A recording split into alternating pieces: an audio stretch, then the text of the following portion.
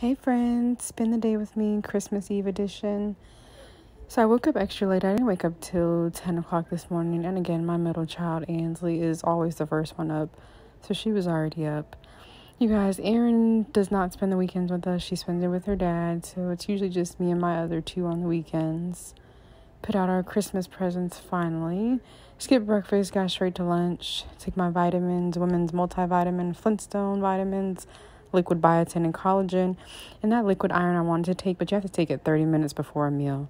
Did some shopping. Me and Ansley went out, did my shopping, did some pickup orders. Had a pickup order at Walmart, so that's what we were in the car waiting for them to bring my order out. Just some little stuff that I still needed for our Christmas dinner for tomorrow. And she was putting this lip gloss on me that she found. Thank you. You too. Thank you. After that, we went home, got the groceries out, put them up.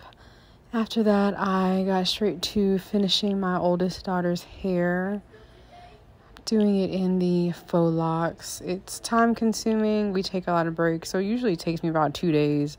When really it could take, you know, maybe about three to four hours, but we take a lot of breaks, and my back starts hurting standing up that long, so but it turned out so good. this style usually lasts her at least about a month and a half to two months. We do a wash in between, but I love how it turns out on her, and she really loves the hairstyle.